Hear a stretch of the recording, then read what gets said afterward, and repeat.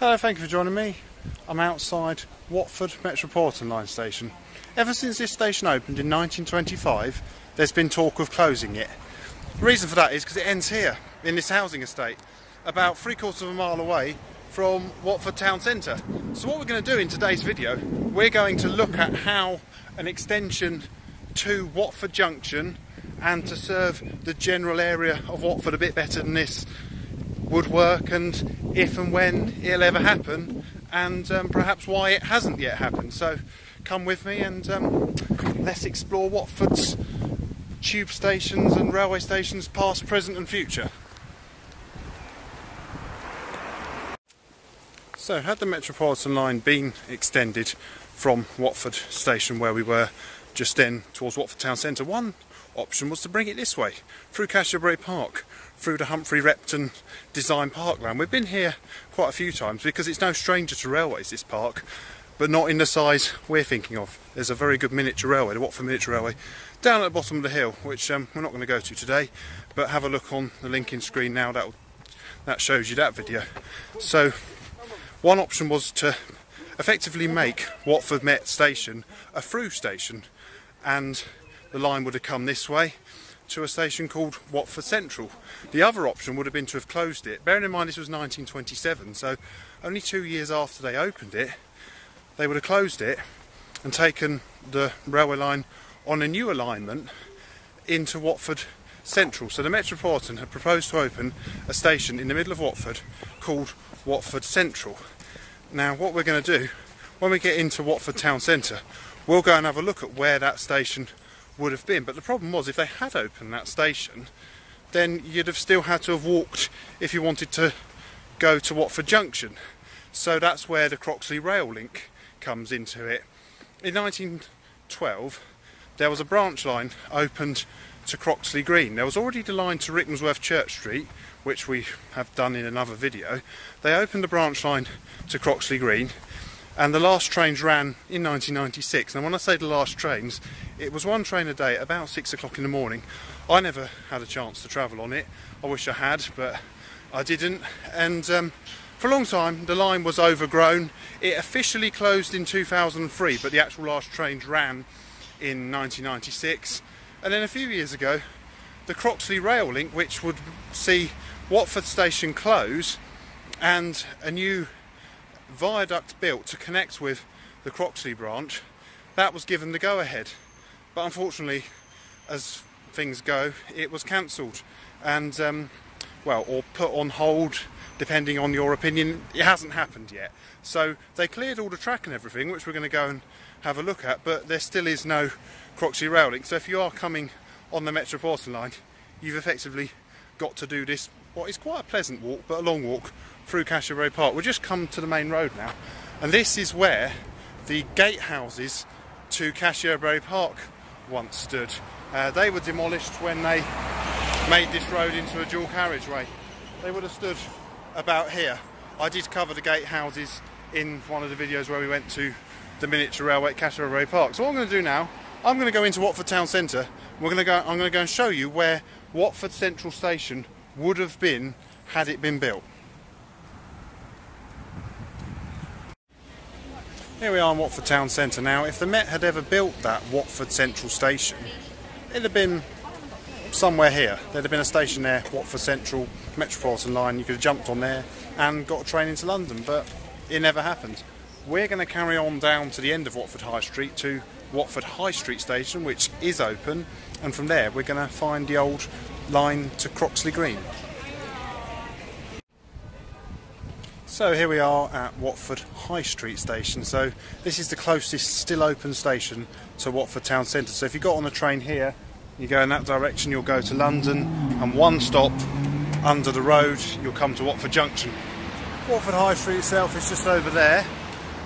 Now about a quarter of a mile that way, that's where the line to Croxley Green branched off and if the Croxley Rail Link had opened would have joined so the Metropolitan line trains would have joined up here. They'd have stopped here at Watford High Street and then they'd have carried on to Watford Junction. So what I'm going to do now, I'm going to walk beside the track bed a bit and we're going to go and find where the junction was and hopefully will still be at some point in the future.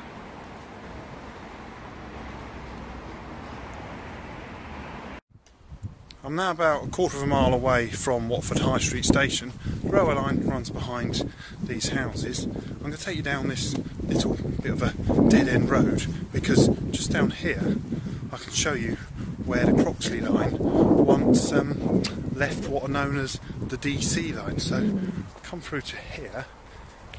Here we have the DC lines.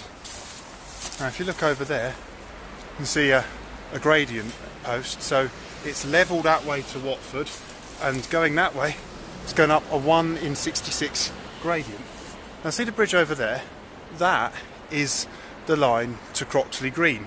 And here would have been a big triangle. So there'd have been a track going off that way. Over there there would have been another side of the triangle. We'll go and have a look at that in a minute. So this whole area would have been a triangle. So if and when the Croxley rail link opens trains from Watford Junction they'd call it Watford High Street they'd go along there, they'd go under that bridge, and they'd take a big curve that way round, and then they'd continue through the former and future stations, which we're going to go and have a look at. Um, so we're now going to head off in that direction, and we're going to try and find if we can see anything left of the other side of this triangle.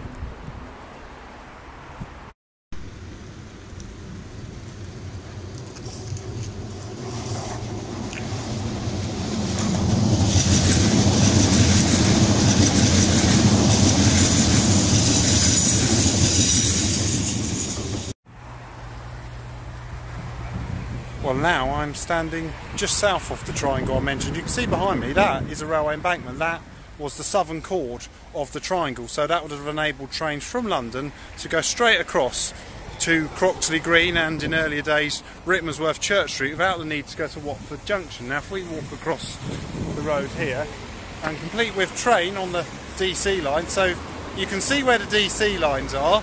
There possibly was a bridge here. There's a lot of road improvements been put in but it would have gone along there. They've demolished the embankment beyond here, but that would have been the southern chord of the triangle. Somewhere here, where all this business park has sprung up, there would have been the Croxley EMU depot. There was a big depot for housing EMUs.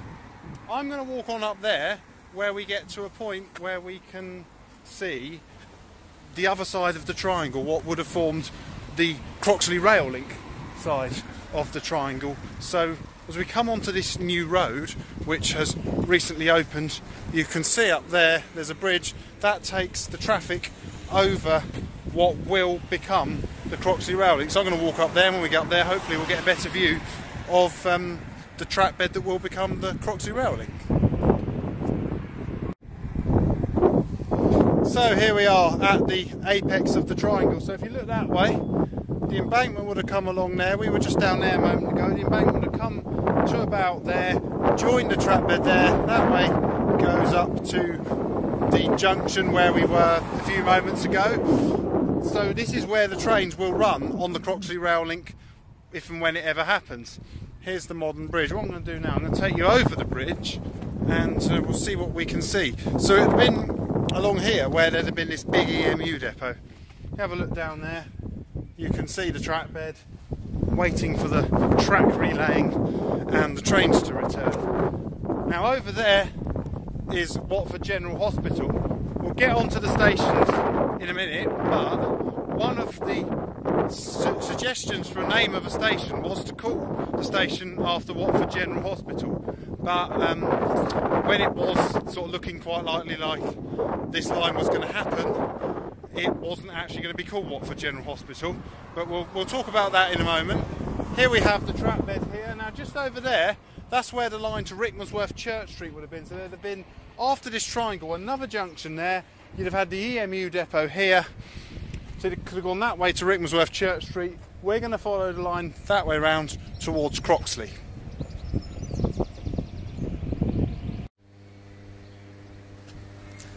Well, there we have an abandoned Watford Stadium station. We're now on the Croxley Green branch, the branch that opened in 1912 and the last trains ran in 1996. So that would have been Watford Stadium Station on this very narrow road, which is called Watford Vicarage Road, the name of Watford Stadium. Now, if we go across the road here, what I'm going to show you is this site here. Track still there.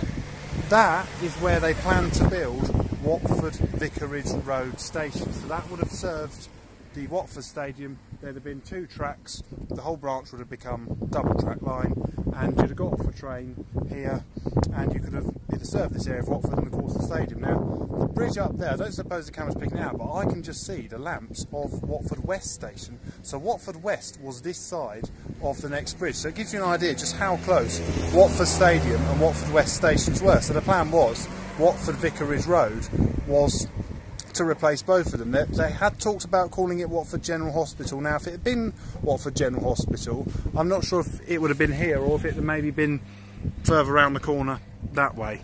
Um, but the last, when it was going to open, the last thing it was going to be called was Watford Vicarage Road. And um, this very narrow road, this is Watford Vicarage Road. And the stadium's nearby. I'm going to continue, I'm going to have to walk, find my way around to the next bridge and hopefully from there we'll get a better view of the former Watford West station. Here we are at the entrance to Watford West station. It's here on a road called Tollpits Lane. So to get onto the station you'd have come along, gone through here and down some steps to the platforms which if we come along here there'd have been a ticket office here where this forecourt is this would have been the ticket office we come along here you look down there, you just about see the railway track. I'll show you the platform in a moment. There's the bridge, we'll go around to that bridge so you can get a view of the station itself. So this, also the last train ran in 1996, officially closed in 2003. You look down there, it survives in a similar way to Watford Stadium.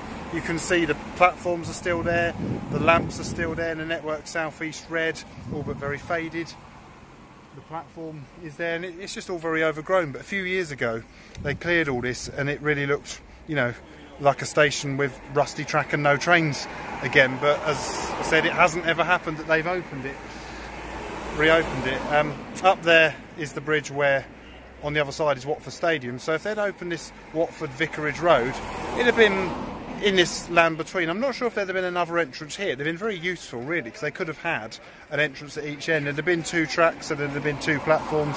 There's plenty of room for two tracks and two platforms, but as I said, it hasn't happened yet. What I'm going to do now is just going to walk over the bridge, and I'll let you see the view. There you go. Get a better view of the of the track and looking towards Watford. if I can get across the road, that's going to be easier said than done. I'm going to cross Tollpits Lane and I'll show you the view looking towards Croxley. So bear with me a moment. It's always whenever you want to cross a road, every car in Watford seems to be coming along, looking both directions. So it's quite busy. Um, but we'll get across and I'll show you where the track carries on and where the next station would have been. So we go across the road here. Now if you look down there, you can just see the railway track looking towards where the next station would have been. It was going to be called Cassio Bridge. We'll go down there now and we'll go to the site and we'll see where that station was and we're also going to go and find the old terminus at Croxley Green. So on we go.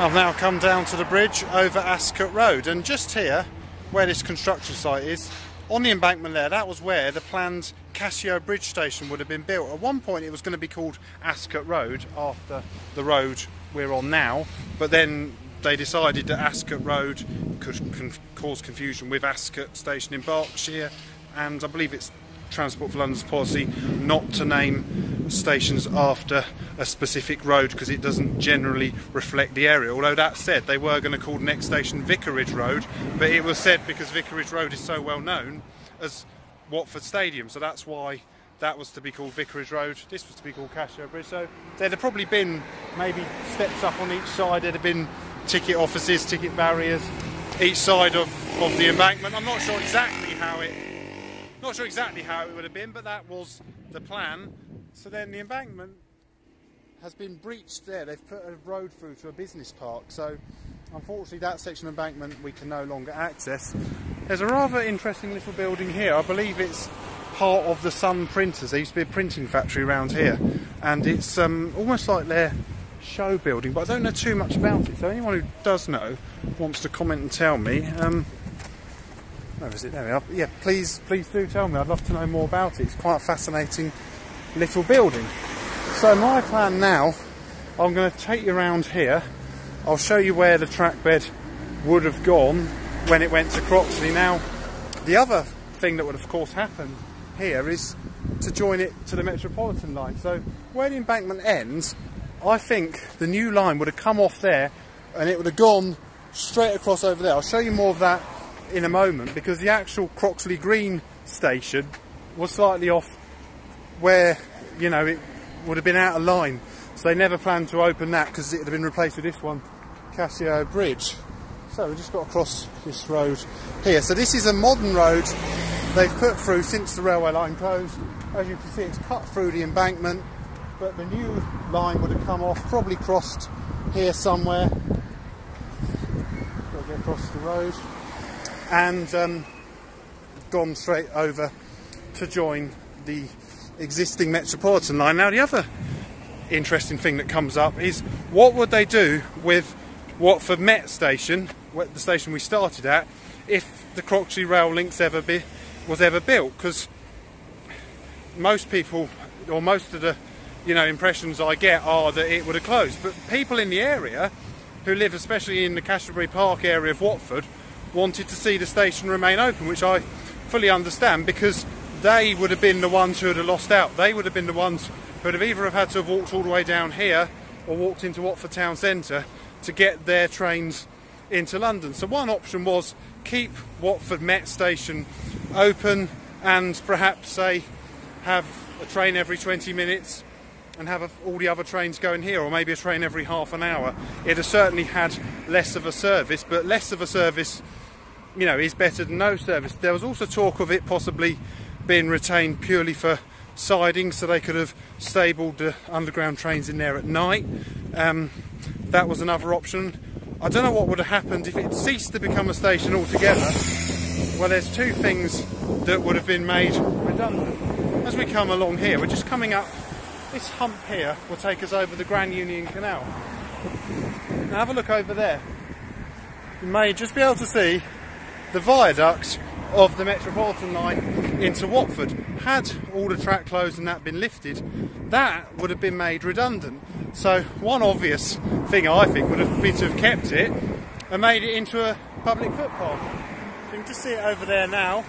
Um, so that is the viaduct into Watford Met Station that possibly could have become redundant. Now talking of redundant viaducts, we have another bridge over there that is the bridge on the Croxley branch, the Croxley Green branch that took it over the canal. That would also be redundant. The new bridge would have come across here somewhere, right across here, and there's a roundabout just down there. It would have crossed just before the roundabout, and it would have joined the Metropolitan line up there. Now what I'm going to do, I'm just going to go this way, down onto the canal, because although I want to show you where it would have joined the Metropolitan line, I want us to have a closer look at where Croxley Green station would have been. So we come down here, this is the Grand Union Canal. Um, quite pleasant along here. So somewhere above us now there potentially will be a bridge carrying the Croxley Rail link and Metropolitan S-Stock trains will be, you know, making that sort of, they'll be passing over us on trains from Watford Junction up to Baker Street. What'll be interesting is um, to see who could get to London first. If you say went from Watford Junction to say Baker Street via the Met or also went into London Euston, see who could get to a certain landmark in London would be uh, an interesting experiment. I, I, don't know really which one would be quicker. I expect if you got on a Pendolino stopping at Watford, but that would be the quickest way. But um, yeah, not sure on that one. Come to here, this is the Birdcage Bridge that carried the line into Croxley Green. So it's a very substantial bridge for the fact it only ever carried, well, in its latter life, one train a day. Now, no trains at all. Now, let's just have a look. If things are how they used to be, go around here, you used to be able to get up onto the track bed. I'm not sure if we can. All of the rest of the track bed that was going to reopen was fenced off. Um, This one, until a few years ago, yeah, they fenced it off, so I can't show you the site the station. But you used to be able to go up there and um, walk along the track bed. So um, we're not going to do that today.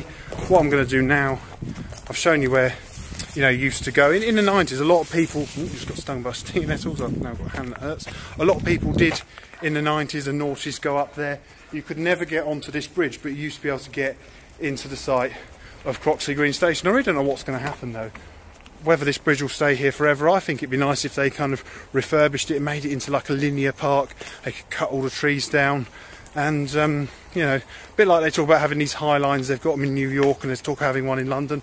Why not have one here in Watford? Oh, and if you look over there, there's a Metropolitan line train on the, um, the section of track that would have closed had the Croxley Rail Link ever happened. And like I said, I hope it happens. It'd be nice if they could retain that bit of track. But as for this, I don't think there's really much hope of ever seeing a train go over that birdcage bridge again. Um, so what I'm going to do now, I'm going to go back to the road.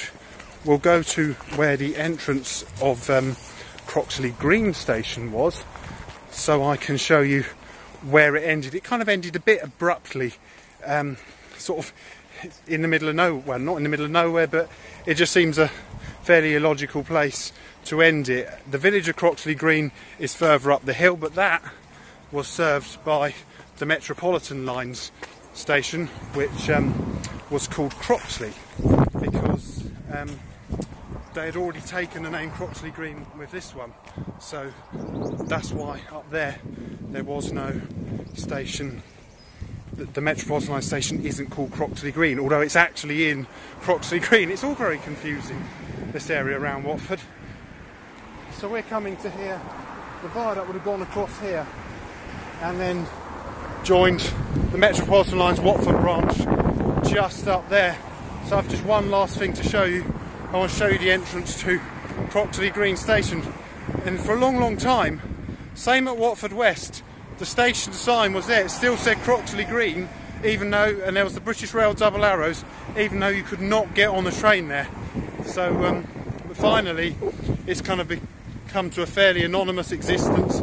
It's just an embankment. The platforms have all gone because I have been up there a few years ago when it seemed every you go up there and you bump into other people. Everyone was going up there. I don't think you were really supposed to, but people did. Um, and this was the entrance just here. So you can see they fenced this one off as well. But you used to, had it been like it was a few years ago, we could have walked along, would have come out down here. But um, not really sure why, but it is fenced off. No talk of this ever reopening. But just here, and look, there, the steps are still there. Those steps, and there's even a lamppost in Network South East Red. You'd have gone up those steps up to Croxley Green Station. So from where the Croxley rail link may one day cross a roundabout. Thank you very much for watching. I hope you enjoyed this video. Please do feel free to like, subscribe, comment, tell your friends, and maybe one day I'll be back here making a video when it's all been built and we'll go and ride the Croxley rail link. But for the time being, the closest you're going to get by the Metropolitan line is Watford Met Station near Cassiobury Park. Thanks very much for watching. Goodbye.